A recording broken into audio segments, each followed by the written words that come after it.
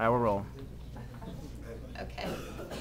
Well, hello everyone. Happy New Year and welcome to Networking 101. My name is Lisa Smith and I have my own company. It's called Life by Design, Coaching and Hypnotherapy.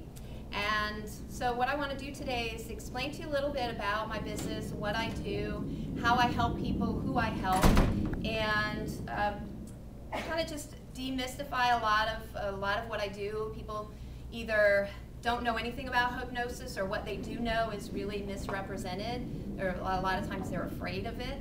Um, hypnosis is only one of the tools that I use. I call myself a, um, a mindset coach, basically meaning I help people to change their limiting thoughts, habits, beliefs, and patterns uh, that are creating results that they're not happy with in their lives so they can create better results.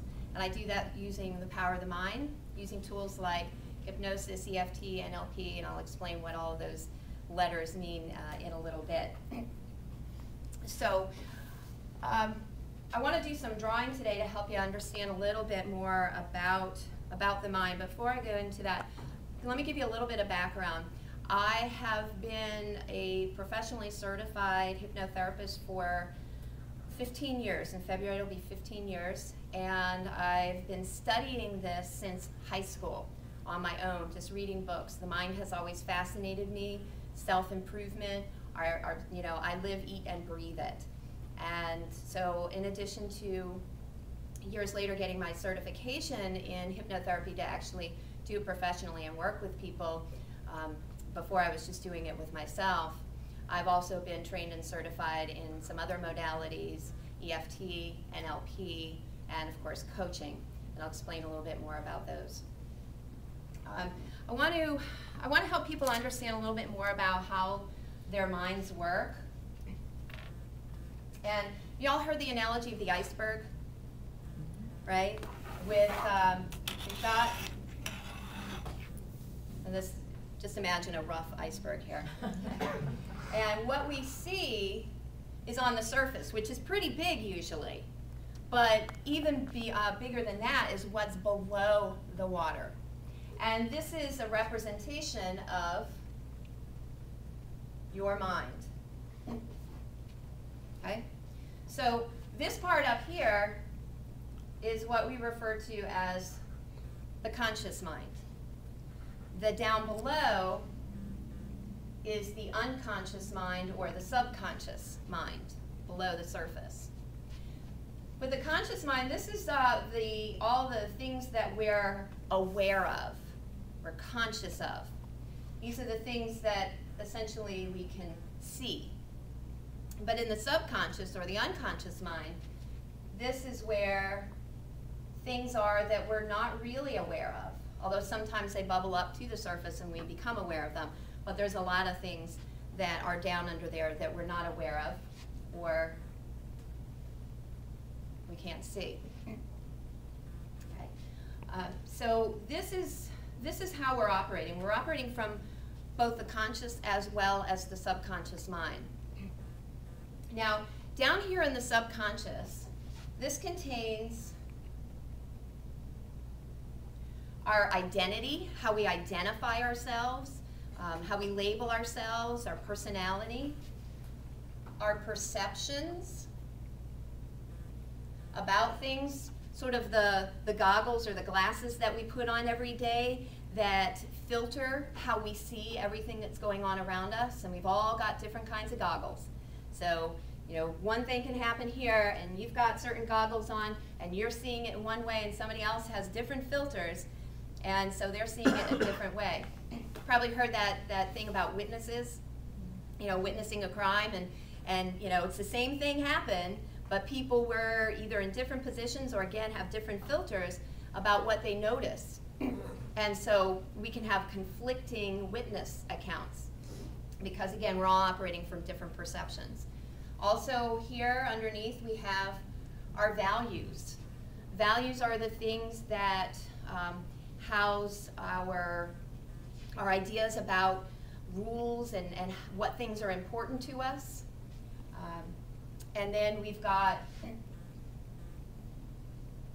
beliefs. And beliefs are, are truths for us. But beliefs are simply things that we have told ourselves or been told over and over enough times to create it as a truth for us. Okay? Um, but again, beliefs are not truths.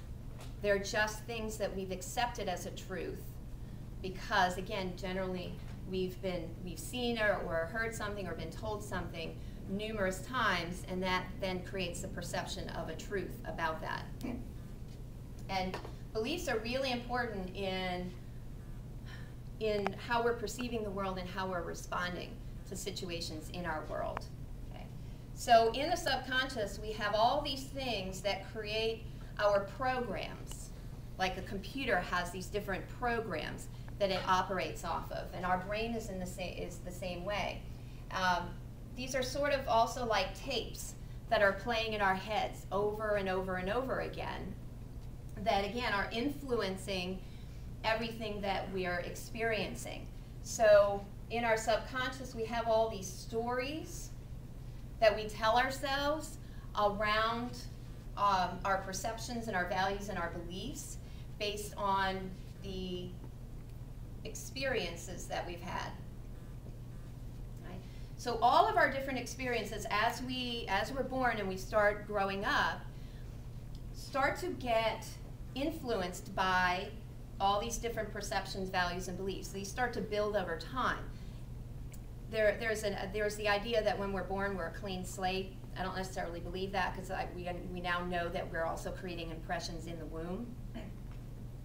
But, um, but again, as we're growing up, we start to have more experiences, and based on the people around us and their values and their beliefs, they influence how, how we develop our own values and beliefs, and then the perceptions that we're creating about our experiences and what they mean to us, and the judgments that we create about them. right. Um, now, all of these things here uh, develop what we call emotions. And emotions are our feelings about things. Now, there's a saying that energy, uh, that emotions are actually energy in motion. So we've got all these different thoughts and ideas and values and things going on, and all these tapes playing in our heads every day. Um, they estimate we have about 60,000 thoughts moving around our minds every day. I don't know how they determined that, but it's widely accepted. Uh, but we don't act on all of them, right? So sometimes you have thoughts that you don't necessarily act on. We generally will act on the ones that have strong emotion behind them, either positive or negative. So emotions basically are energy in motion because emotions um, are what are guiding what's up here, what we see every day in ourselves as well as others, is the behaviors. So all of our behaviors are influenced by our emotions, which again is energy in motion. And all these emotions are influenced by all these different things, your beliefs, your values, your experiences, your identity, etc. Okay? So, uh, um, so we have these emotions about all our thoughts and the experiences that are happening to us, and then that creates some kind of action or behaviors. And then law of cause and effect, when we have some kind of action, we have what afterwards? Consequence. Consequence or result Consequence generally has a negative connotation to it, but a result, okay, again, positive or negative, and again, how we determine whether it's positive or negative is based on our perceptions. Okay, so say it's raining outside, right? How are you how are you judging that rain? Is it something positive or negative? Again, it depends on your perception, your story, your identity. If you are a bride having an outdoor wedding that day, how are you going to be thinking about that rain? negatively, right? If you're a farmer in a drought, how are you going to be thinking about that rain? Positively. So again, the rain is neither good nor bad. It just is, but we are creating a judgment or evaluation on it based again on our perceptions, values, beliefs, experiences. Okay? So our behaviors create our results. And again, these are the things that we see. These are the things that are in our conscious awareness. But all of these things, our behaviors and the results that they create, are guided by everything under here. Right? Now, say the results that we're getting aren't results that we want. You know, we, we, we create the perception this is negative. So negative habits or, or maybe um, uh, results that we're getting in our lives, our relationships, our business, etc. Okay. Oftentimes, again, what people do is they just look at the what they're aware of and what they can see, which is outer circumstances, things happening around them, and therefore they think that the results are based on only that.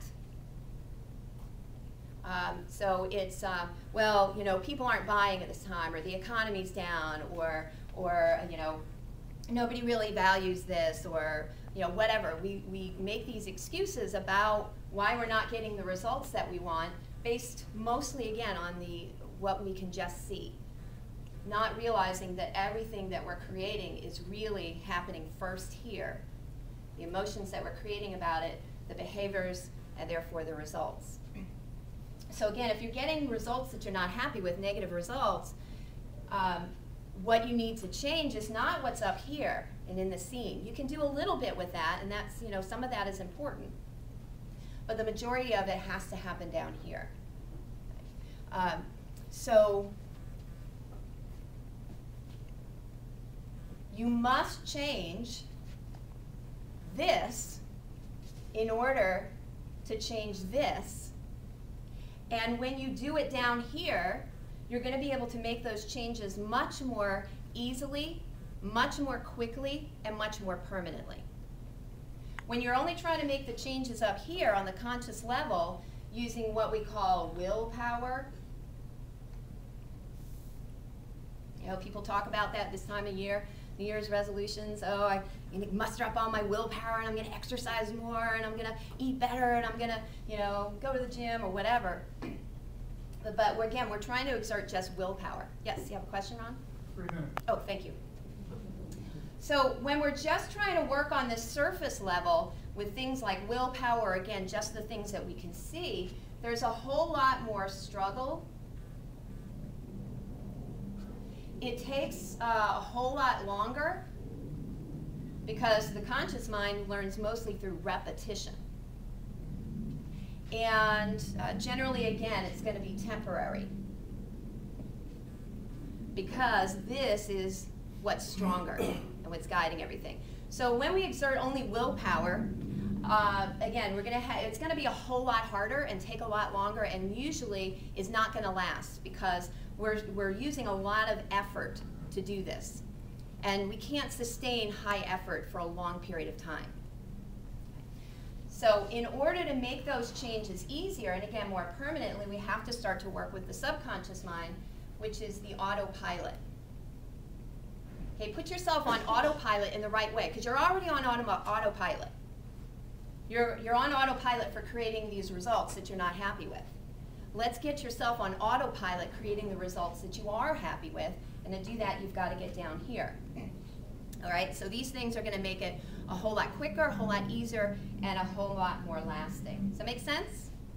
All right, so this is what I do with people. And the tools that I use, those change tools, are hypnosis,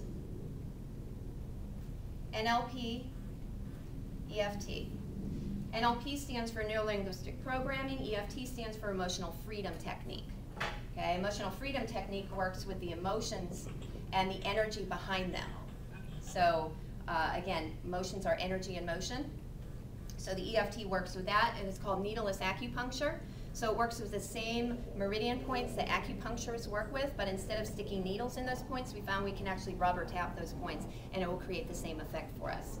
Um, I have some, some videos on my website that and some information that explains a little bit more about EFT because it's, it's, it's usually very new and you know, most people haven't heard of it. Most people have heard of hypnosis and again, there's a lot of fear and misconceptions about hypnosis. I get this one all the time. Are you going to make me cluck like a chicken? Bark like a dog? It just still amazes me that people actually believe that. Uh, that's entertainment hypnosis. It uses the same principle of allowing the subconscious mind to relax enough to follow through on suggestion, but of course that's entertainment. It's there to make people laugh and you know and to have fun. What I do is clinical hypnosis, which is helping people to make changes again, at that subconscious level, happen a lot more quickly and easily. So hypnosis is simply the ability to get the subcon get to this subconscious level to start to change out some of these values and beliefs and perceptions that aren't in alignment with the results that you're trying to create. So we can do that a whole lot more quickly when we when we do it through accessing the subconscious mind through these different tools. Neuro, uh, neurolinguistic programming is, is like mental repatterning of some of those programs. Um, like imagining people all in their underwear if you're standing up in front of a crowd and feeling really nervous, don't worry, I'm not doing that to you right now. uh, that's an example of an NLP technique. So all of these things work really well in conjunction with each other. I use all of them in my practice. Different people, uh, you, uh, different people respond better to different situations. So what I do is a consultation when people are interested in working with me so they can find out more about what I do and how I work. And I can find out more about them and if I might be able to help them with uh, whatever they're trying to change. Um, so I have some brochures here if anybody's interested in picking some up about hypnosis and hypnotherapy and then about my practice and the different things that I do. Um, I've got some tapes, CDs, uh, things for sale here and on my website.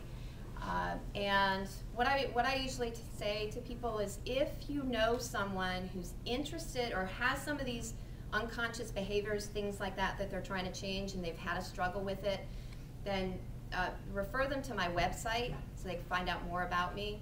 And then if they're interested, then they can give me a call for the free consultation where I can find out a little bit more. So does anybody have any questions? Yes? Do you, you work remotely over the phone? Yes. Yeah, uh, good question. Yes, uh, some people I see in person in my office and other people I work with either fully uh, virtually or partially. You know, sometimes they come to my office, sometimes I do, uh, do work over the phone. I don't actually do hypnosis over the phone. What I do is I, I talk to them, I find out what they need, and if hypnosis would be helpful to them, and then I make a recording for them in my office. I have recording equipment, and then I send them either the disc or the MP3 download for them to listen to. And then with the EFT, I can do that over the phone or even over Skype or you know some kind of webcam system. Uh, but you don't need to, I don't need to see them, they don't need to see me for me to do the EFT with them. Trace? I just want to mention, uh, it's, it's so amazing what you're able to do. Uh, three years ago, actually it was in 2007, when I was under a lot of stress, I worked with Lisa and she changed my life. I mean, I listen to her every night, well we both do. she did a recording for us and talk about anti-stress I go back to sleep as I hear her voice. It's very hard to stay awake listening to her. I know, I put people to sleep. but what I love about the tape too is uh, not just de-stressing and relaxation. It's a lot of positive um, affirmations, I guess, or suggestions, mm-hmm. um, saying that you know we're going to wake up and we're going to feel great and we're going to have a great day and everything is going according to plan. And and you know what? It's the truth. So I, I guess you're working on that unconscious level and changing some of the thought patterns. Exactly. While I sleep. Yes, while you sleep, so it's great. You can make those changes while you sleep by listening to CD as you go to bed. Yes. How long does it program that someone that comes to see you for whatever problem it is? That's a great question as well. It really varies on the person, the situation, their receptivity if we're using hypnosis. Um, I do a minimum of three sessions with people for, for, for things like smoking cessation, phobias, uh, sports improvement, um, uh, for, for uh, other kinds of negative habits. I'm working with someone right now for pulling their eyelashes. I've worked with people for hair pulling, thumb sucking, bedwetting, things like that. Usually I'll, I'll start off with three sessions. Um, sometimes I'll do a little bit more if they have several issues they want to work with or they've, they've got some deeper rooted issues. Sometimes it's four six sessions. and then if I'm working with people for business coaching or for weight loss coaching, then it's three months, six months, sometimes longer. I've, I've have some clients I've worked with for a year, year and a half, two years, because they've, they've got not that they're, they're all messed up, but because like, especially like with the business coaching, they see the value of continuing to have me work with them, keep working on some of the, you know, because as they get to the next level, they get, get breakthroughs, they get to that next level, and then they get stuck again because some more of this stuff comes up for them. So I help them to continue to move through that. Do you work with such uh, cases such as individuals that go into cutting? Oh, cutting themselves? I've never worked with a cutter. Um, I, I would need to, in that situation, I would need to work closely with any um, um, licensed medical professional that they're working with as well. I can, I can do some sessions in conjunction with that, but as, but as long as I'm working with their, uh, with their doctor to make sure that we're, we're both on the same page and, and I'm aware of everything that's going on. So in you'd willing, I, I would be willing to do a consultation and explore that, yes. Any other questions? Cost, consultation, you charge for consultation? No, the consultation is free, it takes about an hour. It's a questionnaire people fill out, some things I have them view before they come in, and then, um, and then we talk, and I do, if they're interested in hypnosis, I do some hypnotic testing with them also to see if that would be a good tool to use. But, but again, I don't necessarily use hypnosis with everybody. Uh, sometimes I just use some of these other tools that they're, if they're more open to that versus, you know, the hypnosis. But a lot of what I do is educating people about the hypnosis so they understand what it is and they're not afraid of it and they're open to using it. Okay, well, we're wrapping up on time, so I appreciate you all for your great questions and for your attention. If you have any more questions, feel free to give me a call, pick up a brochure, one of my cards, and check out my website, because I've a lot of, got a lot of great information as well as free stuff that you can uh, get on my website as well, which is lifebydesignva.com. Thanks. Thank you.